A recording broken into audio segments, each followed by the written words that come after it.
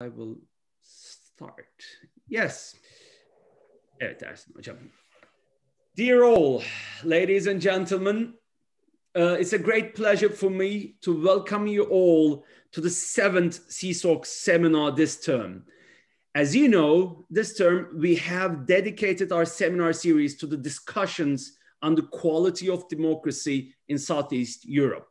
Tonight, we are turning the limelight upon Turkey. The title of tonight's seminar is Turkey's New Constitution, the President's Monopoly over State Power and the Shrinking Role of the Parliament and Judiciary. I believe the title is quite self explanatory. Together with our speakers, we will focus on Turkey's 2017 constitutional changes that has put in place a peculiar presidential system we will examine how the system has been functioning over the last three years. We are so fortunate to have three very distinguished speakers with us tonight. Professors Bertil Emrah Oder, Ersin Kalaycıoğlu, and Murat Sevinç. They have very kindly accepted our invitation. We are so grateful to them. Before I turn the floor to our speakers, please allow me to remind you a few housekeeping points. We will have a Q&A session, a questions and answers session after the talk. If you want to address any question to any speaker, I would kindly ask you to write it into the Q&A box that you can see at the bottom of your screen. I would also be grateful if you could also state whether you would like to ask your question in person if you expressed a preference to ask your question personally, to the extent possible, I will try to yield the floor to you, and our Zoom expert administrator, Julie, will unmute you so that you can ask your question in person. Bey, ben Zoom'dayım. Bir iki saat sonra ancak konuşabilirim. Tamam, görüşmek üzere. Without further ado, I would now like to turn the floor to our distinguished speakers. We will first start with Professor Bertil Emrah Oder. Professor Oder is one of the leading constitutional law scholars in Turkey. She is the Dean of Koç University Faculty of Law, one of the best law faculties right now in Turkey. Her research focuses on comparative constitutional law, European Union law, and international human rights law. She's a full member of the Turkish Science Academy and has published numerous books and articles on constitutional law. And on a personal note for me, when I was an undergraduate law student at the University of Galatasaray, Professor Oder taught our human rights law classes. We all still remember very lively how inspirational, inspirational those lectures have been in our careers and in our academic and intellectual development. Therefore, it's a great personal honor for me to share the same panel with her. Professor Oder's speech will focus on the role that the courts and especially the constitutional court, Turkish constitutional court, plays in checking and balancing the powers of the president. She will examine the impact of the current system upon the separation of powers and the protection of fundamental rights and freedoms. Professor Oder, you have the floor.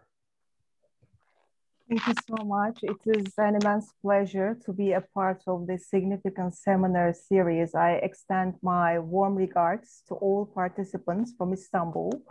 I would like to share my sincere thanks to Southeast European Studies at Oxford, particularly my colleagues Othon Anastasakis, Mehmet Karlı, and Julie Adams for their very kind invitation, giving me the opportunity to talk about the challenges of the constitutional judiciary in Turkey. Under Turkey's uh, democratic uh, breakdown, Turkish Constitutional Court uh, offers actually a case study to identify the dynamics of judicial politics and constitutional review in electoral autocracies. Uh, this case study of Turkey may also contribute to the comparative scholarship on the role of courts under new pressures of the third wave autocratization, that contraction and expansion dynamics of the judiciaries uh, can be better understood. Uh, as you know, the third wave of autocratization is identified as a gradual uh, setback uh, of democracies or democratic qualities under a legal uh, disguise and it is valid for entrenched and electoral democracies, uh, its impact actually on unconsolidated autocracies has been also remarkable that autocratic uh, consolidation may end up uh, with an increase of unmodified and uh, closed autocracies. In general, incremental democratic erosion uh, with the rise of autocratization has become a featuring phenomenon with a decisive impact on different constitutional jurisdictions and constitutionalism. And it has been also argued that autocratic constitutionalism can be an uh, intermediate uh, normative model between liberal democratic constitutionalism and authoritarian constitu constitutionalism. Under the current uh, democratic uh, decline, the media uh, and uh, the freedom of civil society and to a significant extent, the rule of law are severely attacked areas. In contrast uh, with the closed autocracies or traditional authoritarianism, the severe violation of uh, human rights, such as ill treatment, forced disappearances, or torture, are not at the forefront. According to V-Dem Institute Annual Democracy Report 2020, autocracies are in the majority in 92 countries that make approximately 54% uh, of the global population for the first time since 2001. Turkey was classified as an electoral uh, democracy that furthered her democratic consolidation under the Europeanization process between 2001 and 2013. Now Turkey has been marked as a category of democratic breakdown, uh, according to the recent findings of the V-Dem uh, Institute. And she has been uh, represented an incremental constitutional decline since 2013, namely uh, the year park of Gezi Park protests against uh, the government. The regressions as regards free media, civic space, the rule of law, and of course, the horizontal constraints on the executive power have increased since uh, then. As to the main components uh, of electoral democracy index, Turkey's score has decreased uh, over the past 10 years at a very uh, significant uh, level, particularly regarding the freedom of expression and the clean elections.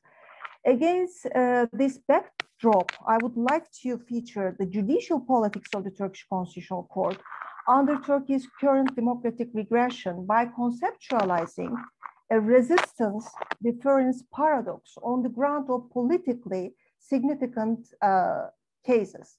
Here I would like to remind that 15 out of 15 constitutional judges are appointed by AK Party, the ruling party affiliated state uh, presidents or parliamentary majority of the AK Party or its uh, supporters.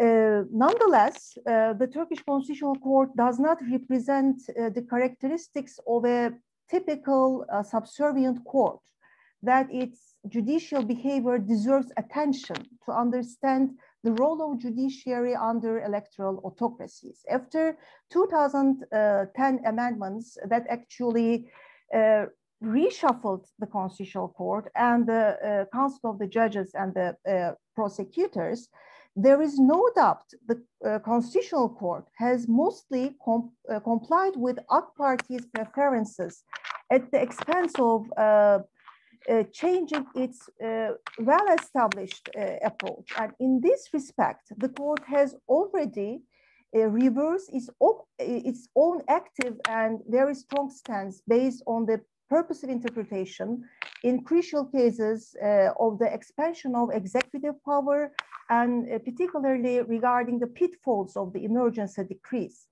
Nonetheless, the abstract norm review seems to play still a crucial role for providing horizontal accountability in some core issues of autocratic policies.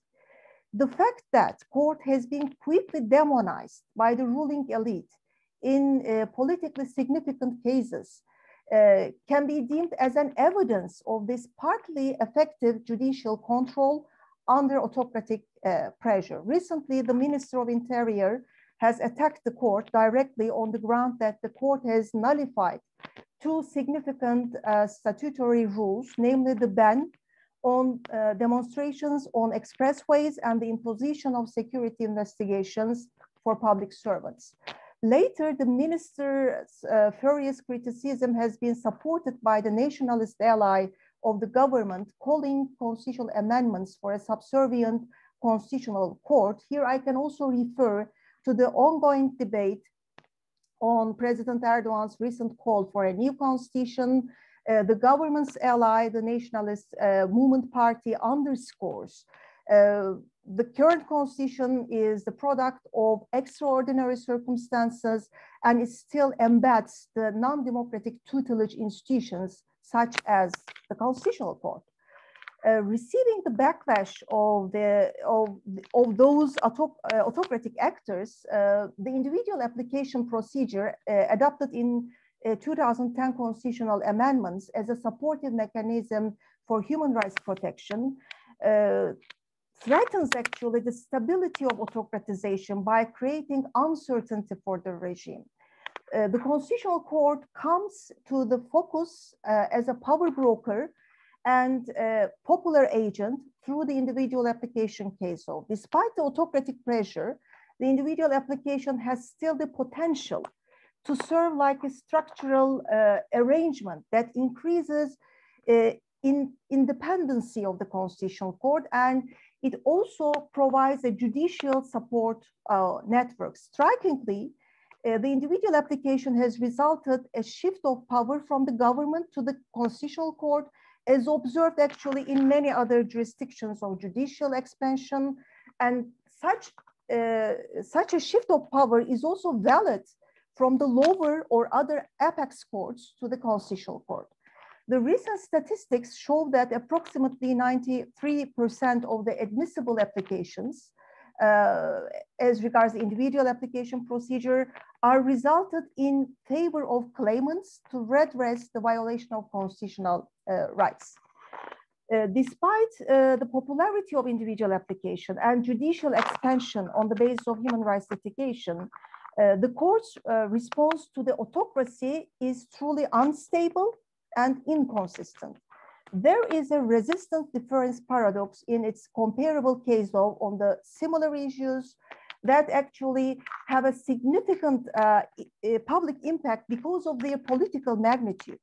In uh, all of those cases, the core interests of the regime are at stake in a comparable context, but claimants are treated differently. And this paradox causes the criticism uh, of the regime opponents since uh, such an unreliable judicial responsiveness does not meet uh, the expectations. Here I focus at first on a cluster of cases regarding journalists and human rights defenders. Actually, uh, these may be also classified uh, as the archetypes uh, for assessing the court's judicial behavior under the rising tide of autocracy. The independent journalism and uh, free society represent the leading areas that are under attack uh, of Turkey's democratic breakdown uh, as observed by the Liberal Democracy Index and Electoral uh, Democracy Index. And Turkey has been uh, marked as a country which has the highest uh, number of imprisoned journalists of the Council of Europe member states. and recently I have checked the platform uh, for protection of uh, journalists. It is a journalism at risk uh, platform developed by Council of Europe, and still Turkey is the leading country as regards the journalists in detention. Uh, and recently, the Parliamentary Assembly of the Council of Europe uh, has uh, also underlined that the abuse of the criminal code and particularly the anti-terrorism laws against journalists are, that are held in arbitrary pre-trial arrest and detention for months sometimes for years uh, before their cases come uh, to the uh, court. Referring to the major uh, journalism case of Turkey, uh, I can remind uh, Cumhuriyet uh, trials, including a large group of journalists. Uh, I can also emphasize Altan brothers, uh, Alpay and Ilıcak. Uh, when we look at all those cases, we can clearly observe the resistance deference paradox of the court applied in a very selective manner uh, journalists have been collectively tried in a marathon of intensive hearings with the same or similar allegations, uh, particularly assisting terrorism without being a member of a terrorist organization, but they are treated, uh, they are not uh, treated equally by the Constitutional Court uh, in terms of uh, long pretrial detentions. the court has not responded more than a year to the applications of journalists although it applies the chilling effect doctrine to the journalism cases as a matter of uh, principle. When we look at, uh, for example, Mehmet Altan and Shahin Alpay uh, cases, these are resulted by the court in a journalism-friendly manner, but the uh, belated uh, response has been again a serious issue. And in addition, Al Ahmet Altan's case has not been reviewed by the court on the same uh, day that his brother Mehmet Altan's case has been decided, although they are subject to the same uh, allegations in the same uh, criminal uh, trial. As to the civic space, uh, I can remind the Academics for Peace uh, case that involves thousands of progressive academics who have signed a petition criticizing the government's anti-terrorism policies in southeastern cities of Turkey and removed from their offices due to their uh, signatures. In this case, the Constitutional Court has defended the freedom of expression of the academics in a broad manner, and it has become the, uh, the owner of the constitutional democracy. Nonetheless, uh, in the emblematic and Kafkaesque case of Osman Kavala, who was accused of financing Gezi Park demonstrations to overthrow the government, the court has been truly submissive and it acted as a part of autocratic uh, coalition. The second cluster that may be relevant that we can test this uh, resistance uh, deference paradox uh, could be the case law regarding the executive power as a matter of constitutional division of powers under the new presidential system. In its recent case law on presidential decrees, the court establishes the horizontal accountability of a strong executive by using uh, a rather careful resistance deference strategy. In this strategy, uh, there is a limitation to be imposed on presidential decrees, but in a very delicate manner that some reserved areas of political question doctrine is uh, provided.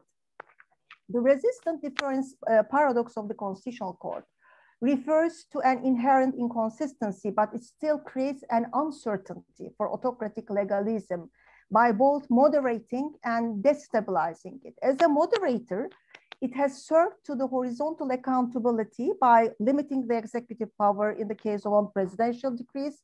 As destabilizing impact, uh, uh, we can also uh, refer again to the journalism uh, cases that have been actually challenged by the lower judiciary, uh, or we can also make a reference to the Academic for Peace endorsing the freedom of expression on politically sensitive uh, issues.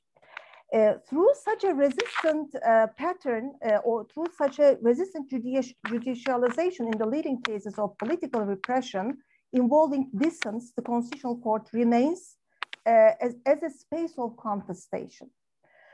Uh, the judicial review seems to be used by the Constitutional Court as a pressure wall to meet the minimum expectations of the European supervision uh, for being uh, an effective remedy as observed in Shahin Alpay and Mehmet Altan cases. And this may be also equally or partly valid uh, for, uh, for some of the journalists of the uh, Cumhuriyet trials. However, the European Court of Human Rights case law does not provide an external legitimization in all significant cases of political repression judicializing the autocratic legality, the court could support the op oppressive practices and the misuse of criminal uh, investigations.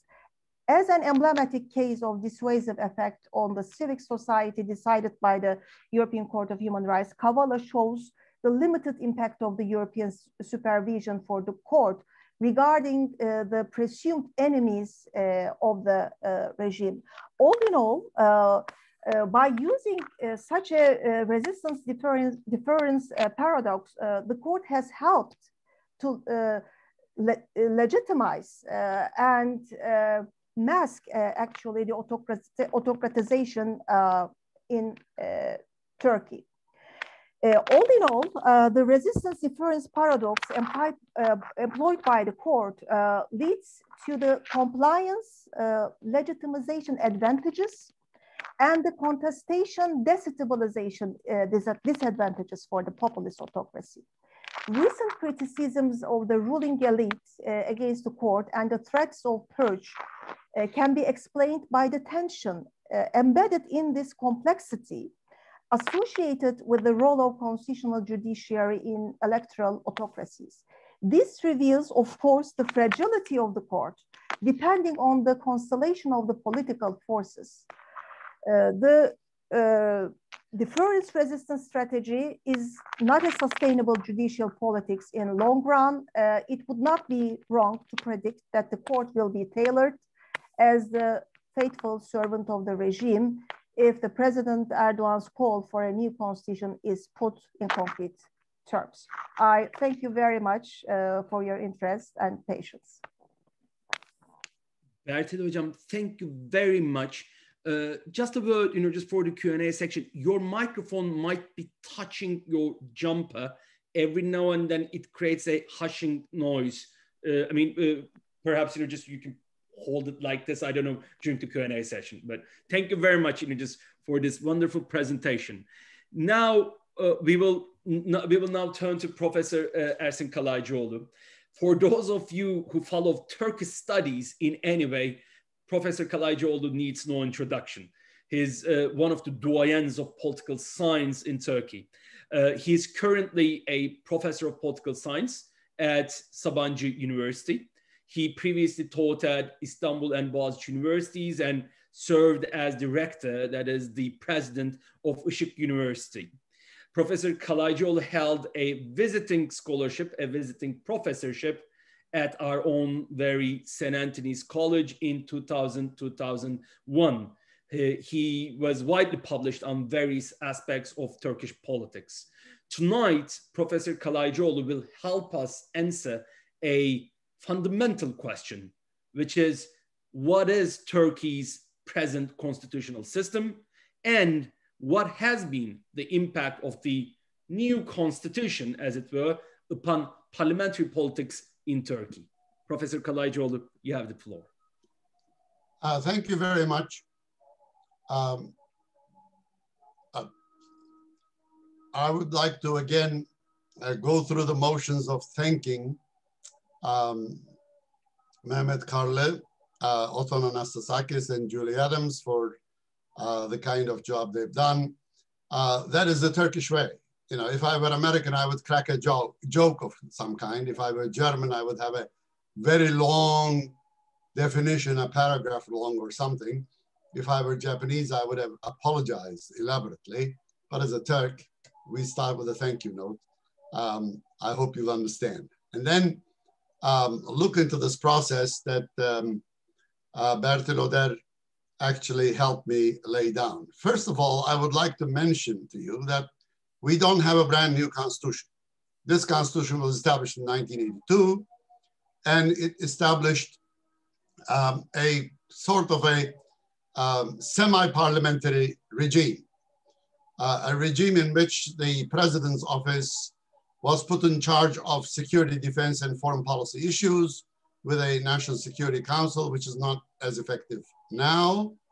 And uh, a, it was also based on the notion that um, uh, in the 1980s, Turkey was at some kind of undeclared war with the Soviet Union. There was a socialist Marxist-Leninist challenge. And the best way to cope with that was to have a political Islamist and ethnic Turkish nationalist, uh, what was called then Turkish Islamic synthesis as an ideology, and people motivated by that ideology to confront them. And the 1982 Constitution was a product of this kind of thinking, and also uh, the military junta that actually wrote the Constitution had very little trust in the elected politicians. These were small town politicians who were ready to compromise any kind of value in Turkey, so they shouldn't be given much of a role in determining uh, the um, major concerns of the country pertaining to uh, security, um, defense, and also foreign policy. So that would be a realm relegated to the office of the, of the president. And this president was, of course, not popularly elected at the time, uh, elected by the Turkish Grand National Assembly, uh, and was not neither politically nor legally responsible for any of the decisions the president had made, um, especially uh, the ex officio decisions. Now, this uh, sort of a set a standard, but from 2000s onwards, uh, in 2007, 2010, 2017, there were three major changes in the constitution, all supported by um, popular vote. Although in 2017, we're not so sure whether the popular vote actually was, a, was in support or not, uh, but um, it carried through uh, under the circumstances of the day, which was not necessarily an election that was held in a democratic environment. It was conducted under emergency measures and the um, no camp uh, could not be very vocal under those circumstances. Um, in spite of the fact um, the, the government um, had to sort of uh, pressure the, uh, the Supreme Board of Elections at the last minute to accept some irregularities in the ballots uh, for, for, for them to carry through uh, the changes in the Constitution. And um, so that was a fait accompli, which was also mentioned by the president that very night. Um, so the legitimacy of the last uh, referendum in 2017, which established the current regime in its current shape, uh, has been questioned by the opposition ever since. I don't believe the opposition, especially the Republican People's Party, ever accepted uh, the results of the Constitution, constitutional amendment uh, in 2017.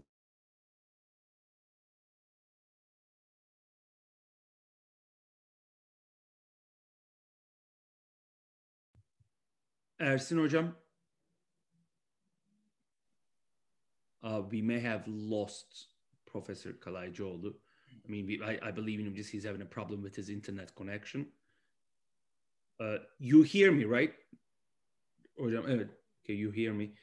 Um, let me see. Uh, I'll try to reach out to Professor Kalaycıoğlu so that we can figure out what. Um, um, th that outcome um, has been in the making for a while. As I mentioned in 2007, there was another ref referendum made which changed the status of the regime from uh, semi-parliamentary to semi-presidential, uh, just like the um, French Fifth Republic with an elected president, elected legislature from which the government uh, of the prime minister and prime minister's cabinet or prime minister's council of ministers emerged and were responsible to it. Now, this was practiced very briefly for about 10 years. Uh, the first uh, seven years was still the ancien regime of the previous semi-parliamentarism under President Gül. And then in 2014, Erdogan was elected as the president of the country for the first time. And therefore, uh, we had both de jure and de facto semi-presidentialism. Then in 2017, the regime changed again, and we moved away from um, semi-presidentialism with the 2017 uh, referendum that I talked about to a form of presidentialism. But this presidentialism is um, rather specific um, in its uh, uh, organization, and I'll try to define it to you, and then I pass a judgment on what it looks like uh, in the end. First of all, uh, since its practice from July 2018 up until now, we observe that the line between the current regime and the state, or the government and the state, is pretty much blurred. In fact, Turkey does not have an executive branch of the government. The uh, article of the Constitution says the executive power and function shall be exercised and carried out by the President of the Republic in conformity with the Constitution and laws. How far that in conformity uh, with the Constitution and laws is a matter of debate. But the definition here is that we have one executive, the President. That is it. We don't have an executive branch defined uh, elaborately uh, in Article 8. And then um, this also emphasizes uh, that the um, president's personality plays the most important role in the politics of the country, uh, dominating the management style of the government completely. So from 2018 onwards, it's a form of personalism in power. In fact, various articles were amended in this 2017 referendum uh, to bolster this. The executive power shall be vested in the president of the republic, it says. One individual. All executive power is vested in this individual, according to Article 104. And then the president of the republic, in his or her capacity, is the head of state. So both head of government and head of state. He or she shall appoint and dismiss the high-ranking executives, so has huge amount of administrative duties and capabilities uh, of a you know undefined uh, high-ranking executives. Who are they? How do we know? Anyway, um, the president will sort it out probably. And then he or she shall ratify and promulgate international treaties. So the president ratifies international treaties now. And then he, she shall determine national security policies and take necessary measures. No longer the Security Council that I talked about in the original form of the 1982 Constitution, it's the president. There is a National Security Council, but it's relegated to a marginal position now under these circumstances. So leaving ultimately all major political decisions to the discretion of one person, personal discretion of the leader or president, who is also um, the leader of a political party. Therefore, he has three heads, party leadership, head of government, head of state. And he can uh, fiddle those uh, three heads properly, and he cannot serve in all those three roles effectively. And he doesn't. In fact, his leadership as the head of state is the one that is neglected the most. He is not involved in any kind of uh, sort of inclusivity of his style of rule. In fact, he's just the opposite, creating as much rift between his government and the government parties of the opposition um, at the same time, um, try to create as big a um, sort of uh, divide between the government and the uh, opposition as possible. Therefore, it leaves little room for him to function as the um, head of state, the president, who has um, leading or who has been leading as a leader, creating inclusivity for all citizens of the country uh, as such. That is probably not intended anyway. But the system has a huge absence of institutions, which are not emphasized in the Constitution very much, and also operates in the absence of valuable deliberation and negotiations. The formation of a management style without political institutions has developed.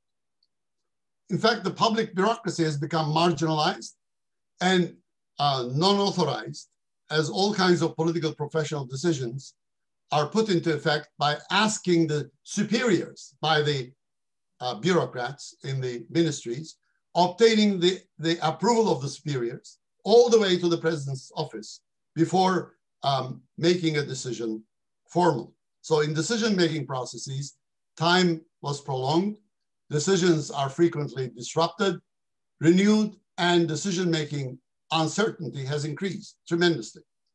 An administration that does not comply with rules, laws, and constitution has started to emerge.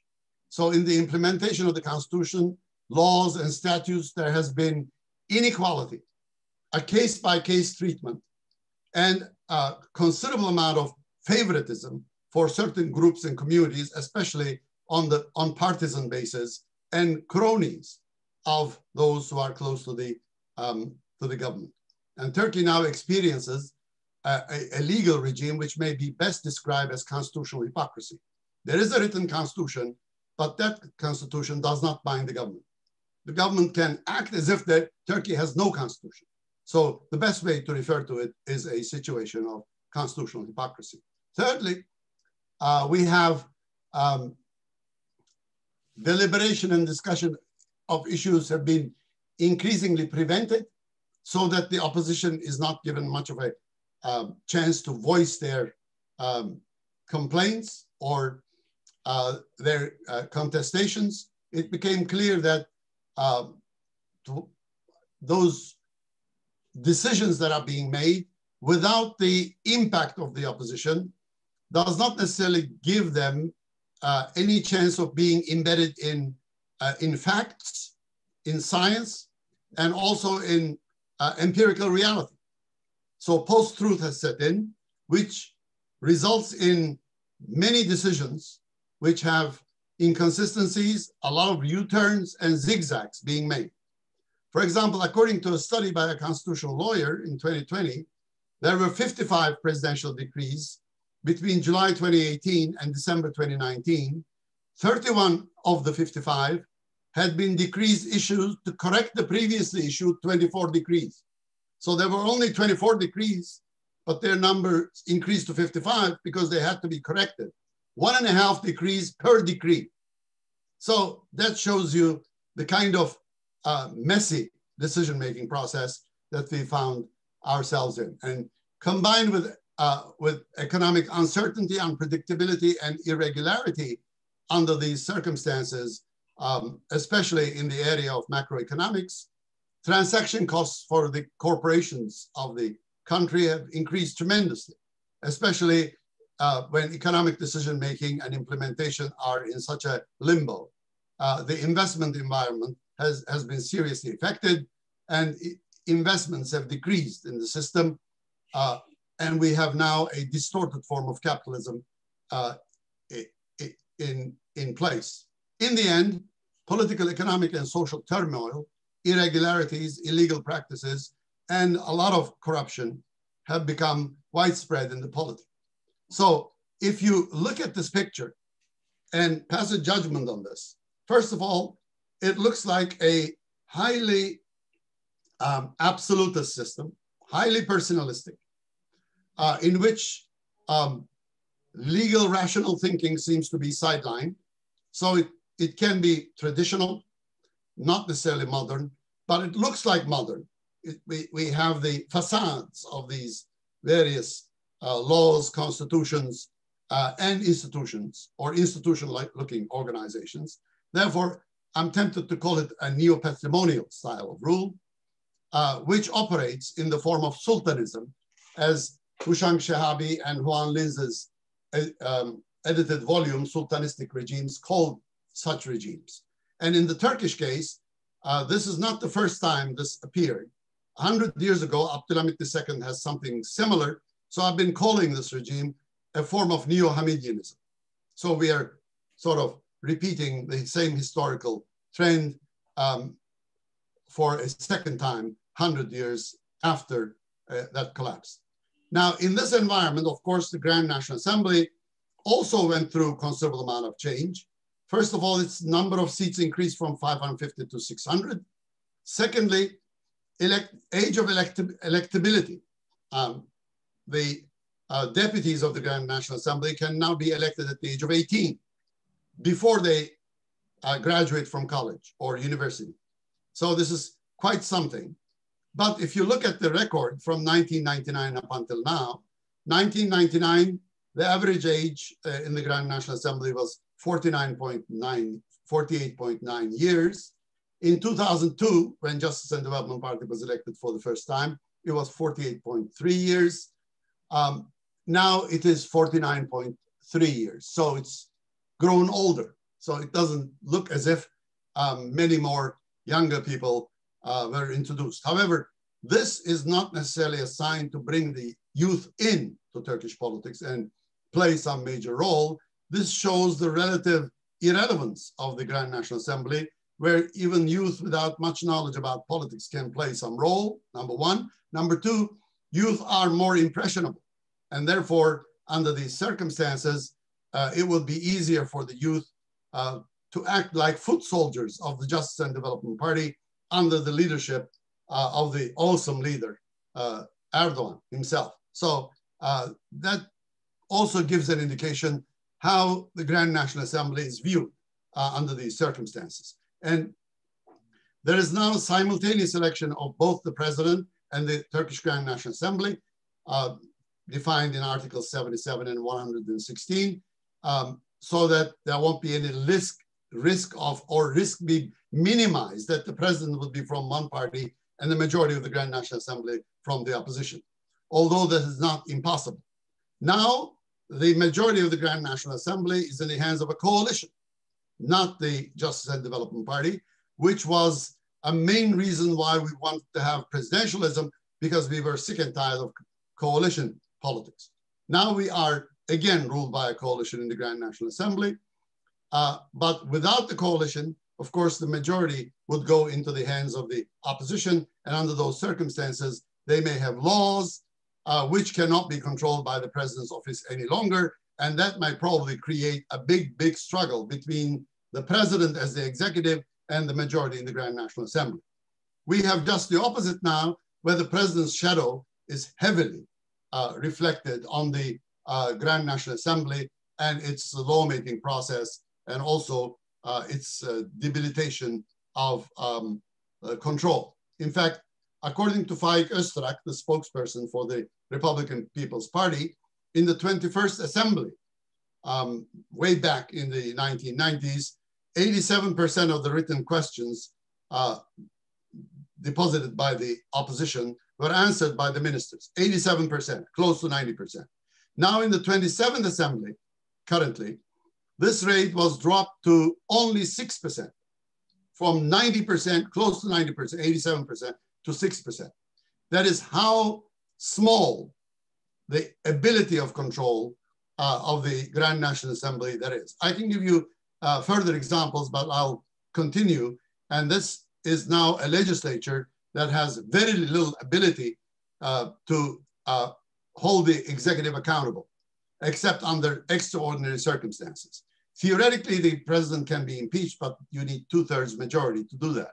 And it's virtually impossible. There have been times where political parties had that kind of majority in the Grand National Assembly, but it's absolutely rare. So the Grand National Assembly has turned into something like a grand public notary, a rubber stamp legislature, very submissive, um, working on the legislation presented to it by the president's office, and often um, through the back door, uh, which looked like the proposal of a deputy, but it actually is not. It's brought down by the president's office uh, and then uh, acted upon according to president's orders. And in fact, in last week, the president had a way of arguing about the Grand National Assembly on these HDP um, situation. Um, the, uh, the decision on the fate of some of the uh, Kurdish nationalist um, MPs, whether they'll be um, standing or not, um, uh, any, any, any longer will there be um, a vote, whether they can hold their seats uh, any longer or not. The president said that they'll raise their hands and it'll go through. Uh, he's not even a member of the Grand National Assembly, although he's the leader of the same political party. So he has his influence on the um, Grand National Assembly as such. Can the Grand National Assembly get out of this situation and, and reassert itself as, the, as a major institution for uh, Turkish Grand National Assembly, as some of you may know, was a very special institution. That was the, um, the institution that established the state, that fought the war of liberation, and that established the Turkish nation, or, or the nation state in the end. So we had the Grand National Assembly when Turkey had nothing else.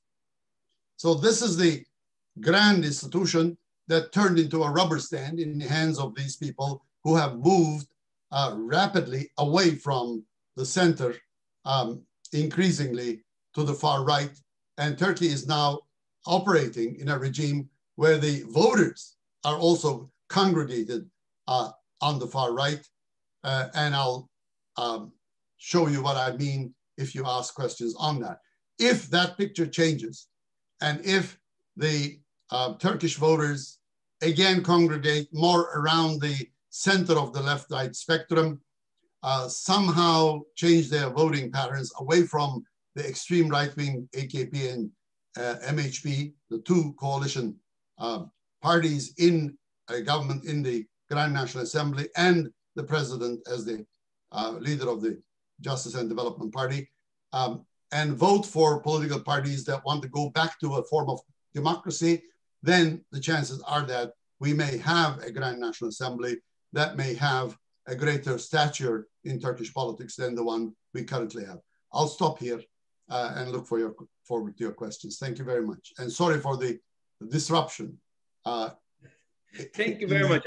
Thank, thank you very much. Uh, it's been an amazing presentation, especially you know, just your findings regarding the nature of the system, sultanism, New Hamidianism, and actually it provides us a great, you know, just passing point to our next speaker.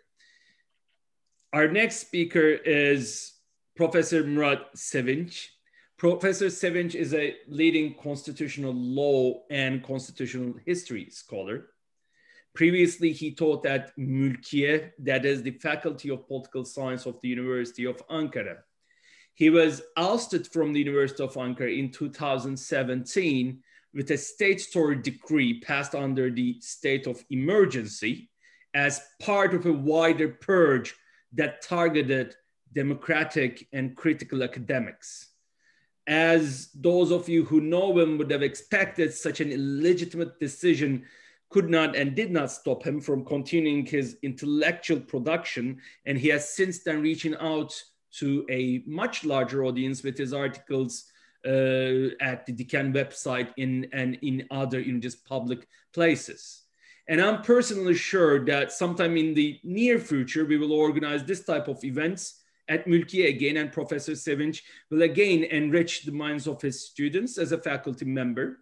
And those pseudo academics, I would say, who collaborated with the authorities to oust such names as Professor Sevinç will only make their way into the dustbin of history for sure. And we do not need to you know, just remember their names.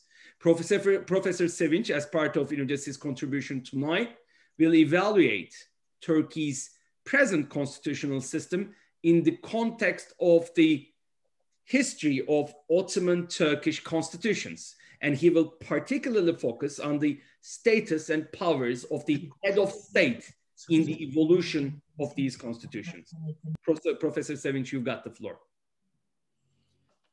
Uh, thank you very much, dear Mehmet, and the other audiences. Uh, thank you very much for inviting me, actually. And uh, yeah, I'd like to, uh, there's, uh, there's something, the history of the, the, the, presidency of Turkey, the head of state of Turkey, uh, the, from Ottoman time now.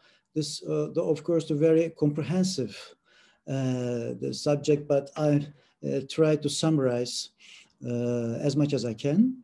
And the, of course, I use my notes uh, if you don't mind. I know it's a little bit boring, but uh, uh, I, I, I thank you again. almost every article of the 1982 Constitution has been a matter of debate since its adoption. The constitutional position uh, of the president has also been an issue in these discussions the president's term of office, uh, his duties and powers, and rules pertaining uh, to the presidential election have been on the agenda on varying occasions. Thus, one would suppose that there must be some uh, uh logical reasons uh, for this unusual situation. In my opinion, it's not possible to tackle the current constitutional uh, the, the problems or troubles, uh, issues without understanding both the political and uh, legal historical background. the first constitution in Ottoman Turkish history was adopted in 1876. In the year of 1876, the Abdulhamid II was acting under pressure of the small group of reformers for the first time in this data, for the first time the Ottoman history, the document in question provided some constitutional mechanism to check the absolute power uh, of the Sultan sultan. Uh, but in this constitution, uh, the sultan was the most powerful figure in the constitution in this time, and he was definitely stronger than the both uh, chambers in the parliament. The important amendments were made to this constitution in 1909 after the 1908 revolution declared the second constitutional monarchy, ikinci meşrutiyet, in Ottoman history. This marginally uh, more liberal era, which didn't last long, of course, and unfortunately, is referred to as the beginning of bourgeoisie revolution as well. The most important contribution of the Seth Amendment were that uh, they laid the basic principles of the parliamentary system, which lasted for a century. Amendments in 1909 incorporated parliamentary qualities in the system abolished by this constitution, thereby holding minister accountable to the parliament and revoking the sultan's absolute veto power. Subsequent to said amendment, the most important institution was no longer the sultan, but the Meclis-i Mebusan, Chamber of Deputies. Thus, the constitutional system finally uh, came into being similar to the parliamentary monarchies of Western Europe. This tendency to parliamentarism in the political system endured uh, with the exception of the period of the War of Independence of Turkey during, the, during which there was a need for a conventional parliamentary system, or you can say the assembly, uh, the parliamentary system under the conditions of the day. This era of the national liberation was the most interesting and innovative period without any uh, hesitation in Turkey's constitutional history. Uh, the important thing is, uh, from 1909 to the last constitutional amendment, the parliament became the strongest and prestigious body of the constitutional system in our history, at least on the text. Uh, the second constitution, Teşkilat-ı Esasiye, uh, was adopted in 1921, the first uh, uh, by the first uh, TGNA, Turkish Grand National Assembly. This was a very important and impressive constitution in Turkish history. The text is very short, included just only uh, 23 articles and the additional article uh, at the end the very short and special constitution of our history. Uh, the constitution proclaimed the principle of national sovereignty, thus the source of authority transformed from divinity to a secularist structure, and the constitution set up an conventional parliamentary government, or you can say the assembly government, as I said before, which was more convenient and functional for an era of revolution the legislative and executive powers were vested in the assembly. The first article is very impressive. The sovereignty invested in the nation without condition or any restriction to this uh, constitution. Actually, that was uh, undoubtedly a republic, but for tactical political reasons, the TGNA didn't abolish the Sultanate until after final victory of war, at war. The Sultanate was abolished on October 1922. So there was not an office like the head of state in this short constitution uh, as a result of the conventional parliamentary system based on the unity of the legislative and the executive powers. Mustafa Kemal was the head of the TGNA and the head of the delegation of representatives, Heyet-i Temsiliye. Uh, he was a kind of uh, an unnamed president, actually. The republic was officially proclaimed about two years later by the uh, constitutional amendments on uh, 29 October 1923, and Mustafa Kemal was elected at the first president. Uh, after this, the Turkish Republic clearly needed a new constitution. Finally, the first constitution of the Republic was adopted in 1924, just after the proclamation of the Republic in October. The first Republican constitution advocated a hybrid system, which uh, consists of characteristics of both parliamentary and conventional uh, system. A dual executive model possessed the characteristic of both the conventional and conventional government and parliamentary system in that the head of state is politically non-accountable and the council of ministers is responsible to the parliament. The only body exercising the sovereignty, the parliament, was to exercise legislative power itself and executive power has challenged through the president and the council of minister. Uh, uh, though the constitution of 1924 delegated extremely limited powers to the president, the presidents could still be highly influential during uh, this period. But it should be noted that uh, what gave the rise to such influence was their historical eminence rather than the laws.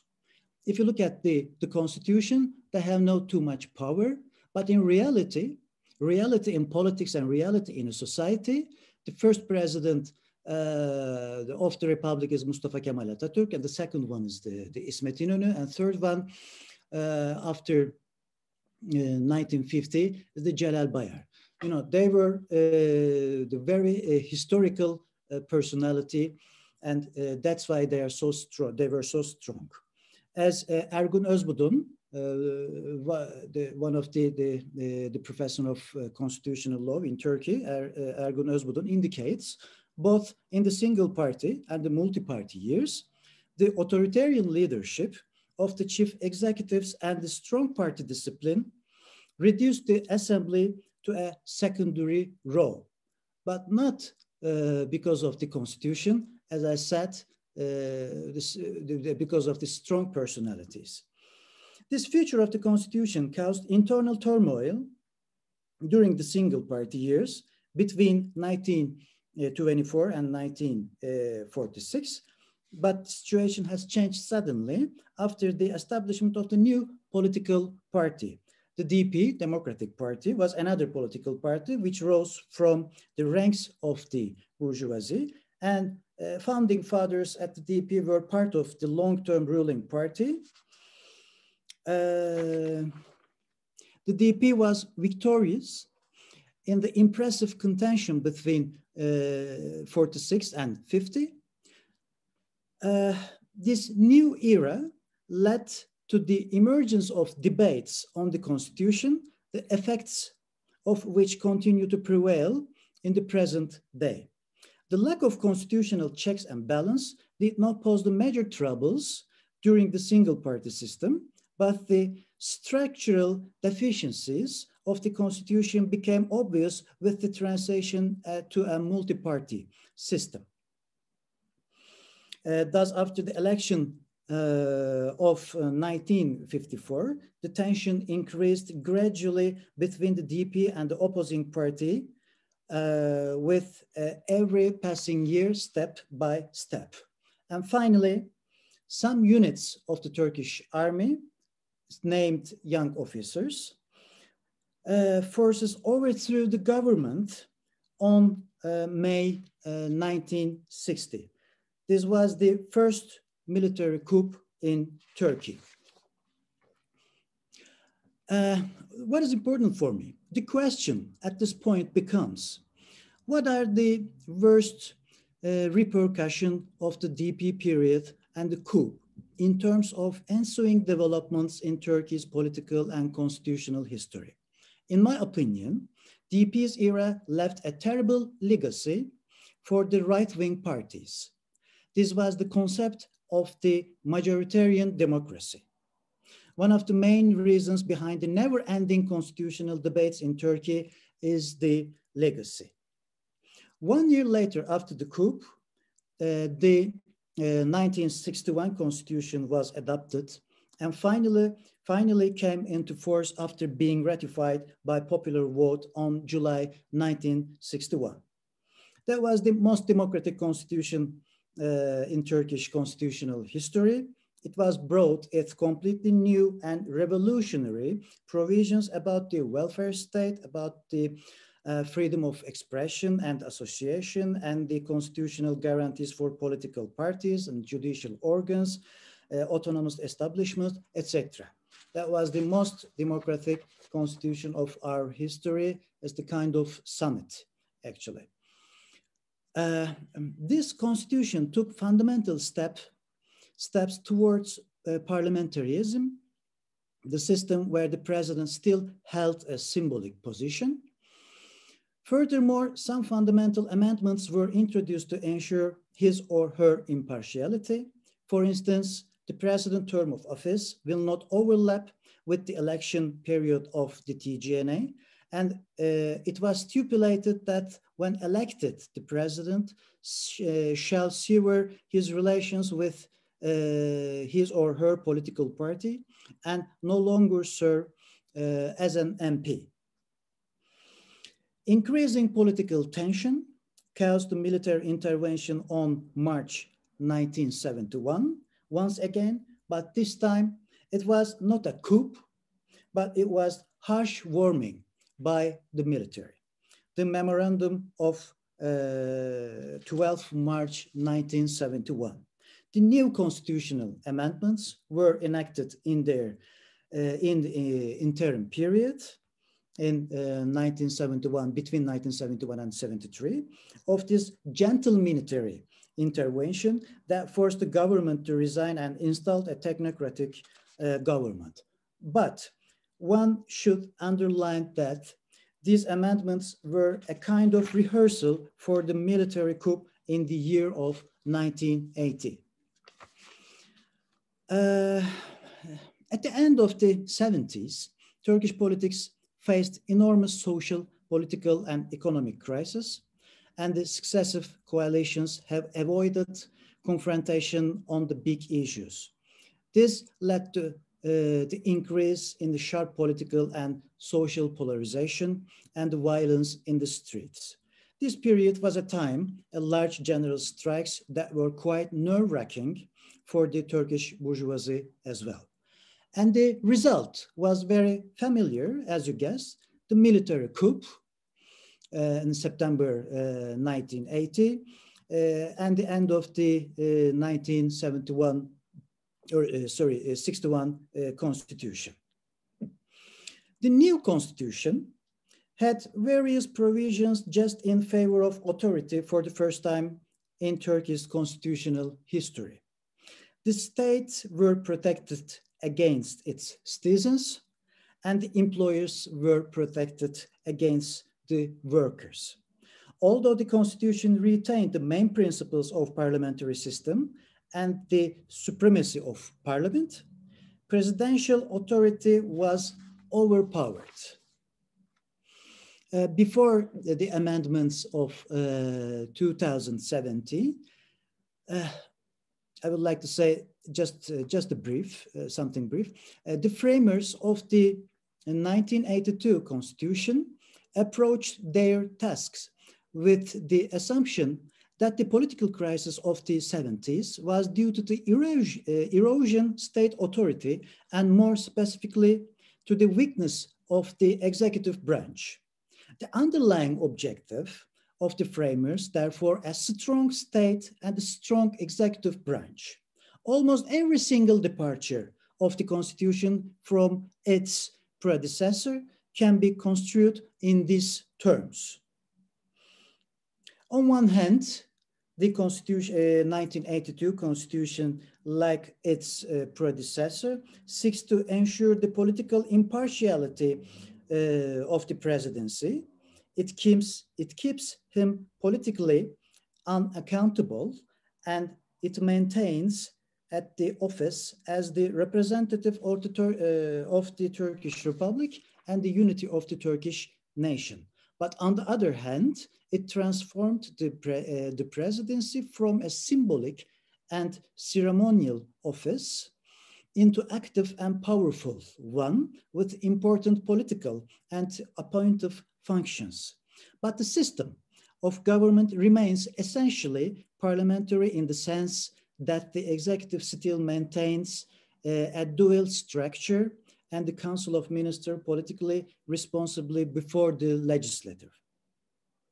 This situation has caused never-ending controversies about the office of the president. In my opinion, the constitution was actually left the destiny of the executive branch to the personality of the presidents.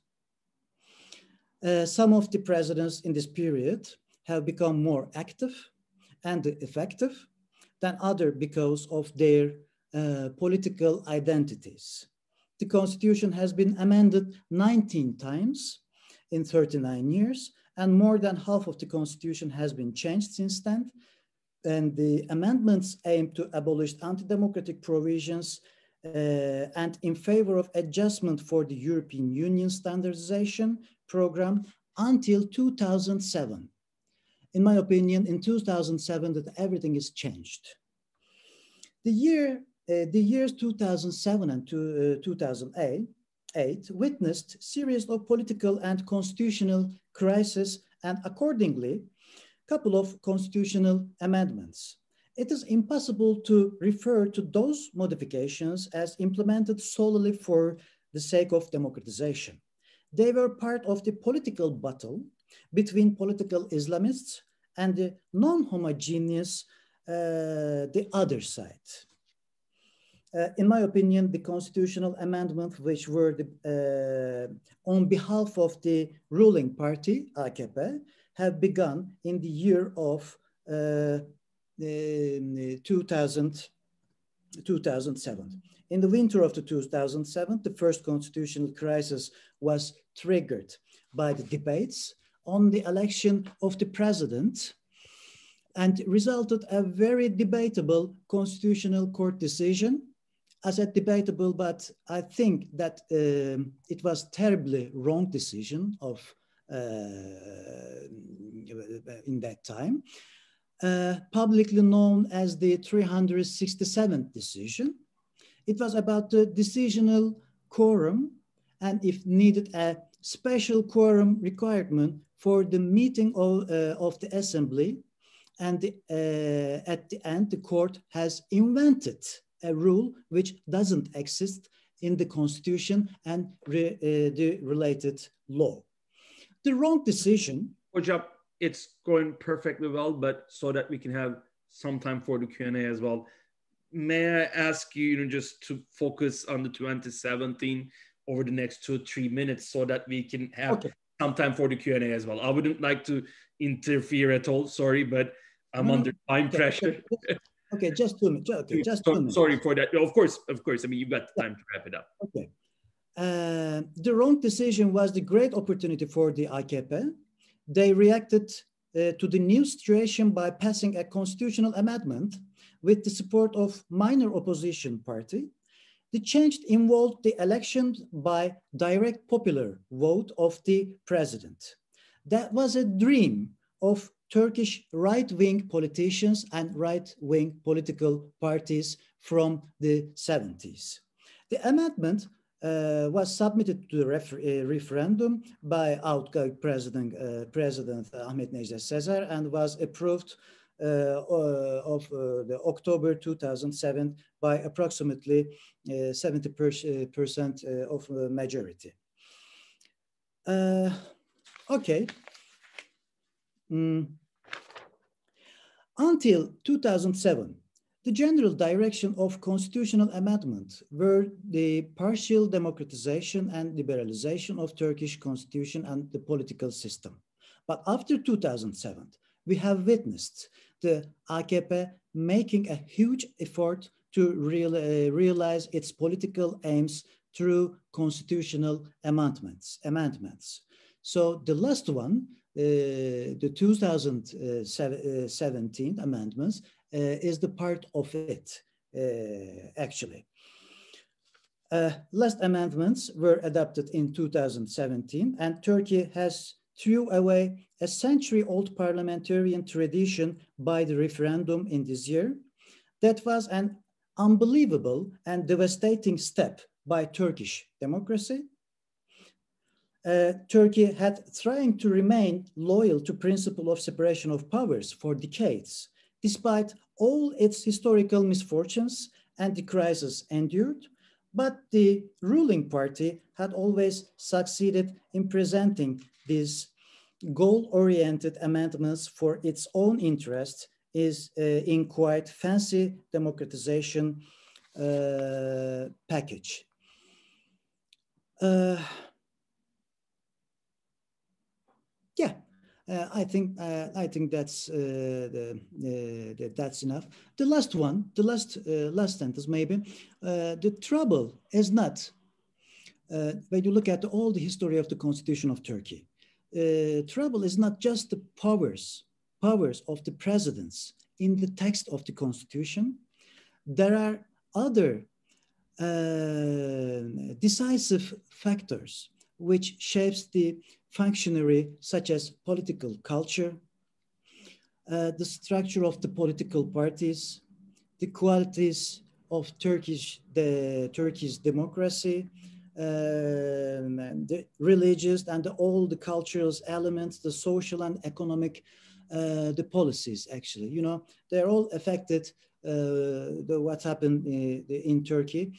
And uh, one more thing, the, the tradition the very important for all systems, uh, for the parliamentary systems or the presidential systems, the traditions. The, the ruling party has destroyed all the traditions in the uh, governmental system. This, this is uh, the, something horrible in Turkey happened, uh, uh, the, I think. You know, the tradition, uh, the, the, the, British, the parliamentary system or the American, uh, the presidential systems are so important. We had lots of traditions in our system, but they destroyed it. So uh, we came today. Yeah, I think I'll stop. Maybe some questions I'll try to answer. Thank you very much. I'm quite sure there will be questions, or you know, just we are ending on a pessimistic note, and I will continue uh, without losing any minute with questions. I mean, we've got quite a few questions. I'm going to start